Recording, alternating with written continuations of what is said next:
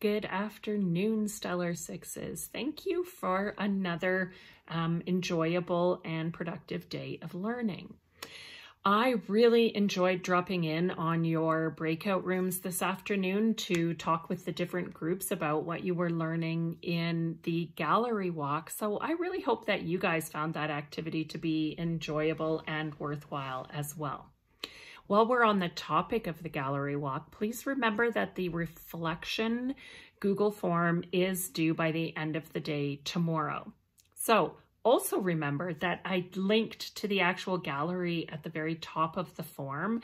So you can go um, to the form and click on that link and explore information about more of these 30 accomplished Canadians before you turn in the form um, or go back and read more about one or two of the people that you explored with your partner in your breakout room.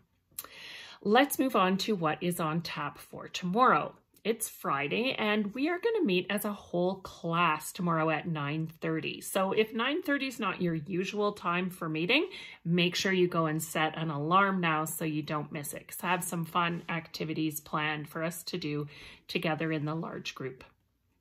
I have office hours scheduled at 10.30 tomorrow. So just remember, that's a good time for you to come and check in with me if you have any questions about drawing the graph of a pattern, which is what we worked on this week in math, or anything else relating to patterns and relations um, before we have our unit test on Monday.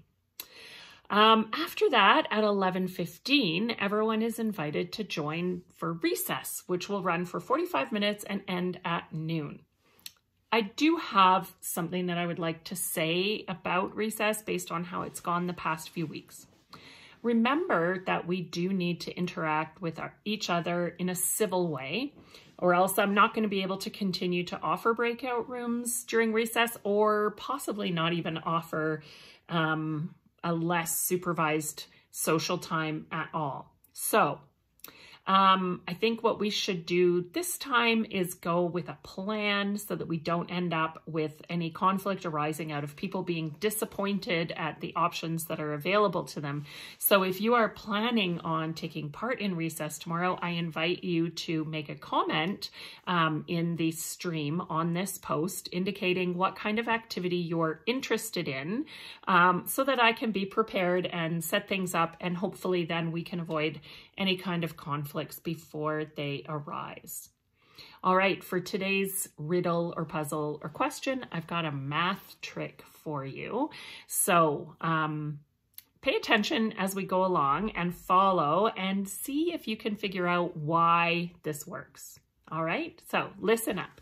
I want you to all to think of a number. So pick any number you want and think of it. You may want to have a calculator or a piece of paper and a pencil handy to follow along on this, okay? I'll give you a second to do that. All right, think of a number and then multiply it by three, okay? Add six.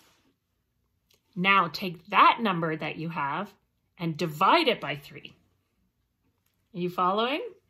Then subtract the number from step one, from the answer that you just got in step four. So the first step was that first number that you picked. You're going to subtract it from the number that you have now. And I'm going to tell you what your answer will be if you've been doing this correctly. I'm going to go through those steps one more time and tell you the answer, okay? So think of a number, any number, any number. Less than 9 is a little easier for you, but any number. Now, that's step one. Think of a number. Multiply it by 3. Okay, that's step two. Take your number times 3. That's step two. Now, step 3 is add 6 to that number. Okay, you following along with me? Step 3 is add 6. Step 4, divide by 3. Okay, now take the number from step 1 that first number you thought of and subtract it from this last number from step four, and the answer will be two. See if you can figure out why that's going to work all the time, no matter what number you pick in step one. See you tomorrow.